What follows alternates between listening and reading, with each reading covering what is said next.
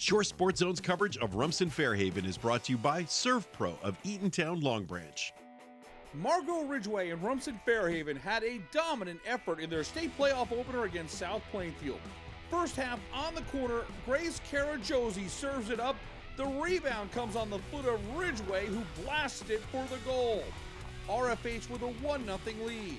Late first half, Ridgeway with a great opportunity here. She's brought down inside the 18. It's a penalty kick. And Margot Ridgeway takes care of business. She finishes the game with a hat trick. RFH led 2 0 at the half. They were up for seven second half goals and a 9 0 win over South Plainfield. Rumson Fair Haven hosts Spotswood in the second round of the Central Jersey Group 2 playoffs on Friday.